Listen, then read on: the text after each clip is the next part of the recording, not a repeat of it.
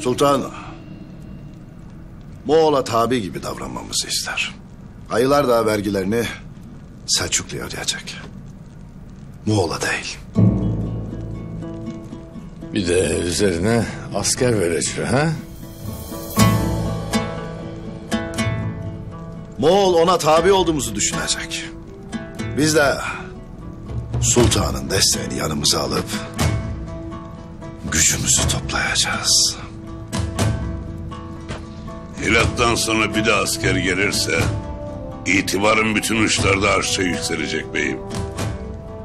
Gayrı Türkmen beyleri de ardımızda sımsıkı kenetlenecekler. İlhanlı ordusunun karşısında daha güçlü bir şekilde durabilmek için olması gereken de işte budur. Şimdi şimdi Toga'ya bir elçi göndereceğim. Ve ona tabi olduğumuzu bildireceğim. O göndereceğim elçi vergileri Selçuklu'ya ödediğimizi bildirecek. Lakin Osman Bey, biz elbet senin niyetini biliriz. Ama Moğollarla il olmuş gibi görünmek diğer beyler arasında huzursuzluk yaratıcıdır.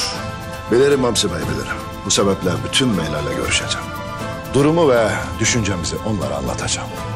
Bilhassa Moğol'la nice cenge girmiş olan Umur Bey'e bizzat gidip ona niyetimizi bildireceğim.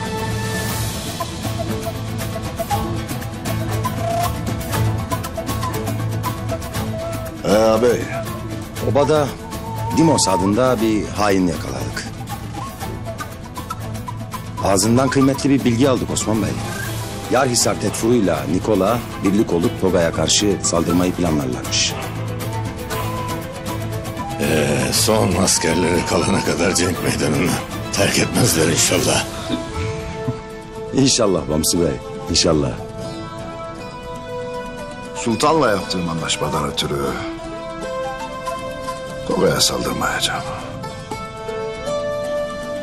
Lakin eğer ki Nikola saldırırsa bu benim işime gelir. Biz gücümüzü toplarken bırakalım birbirlerini yesinler. Vakti geldiğinde hepsini ezip geçeceğiz. İnşallah. Evelallah.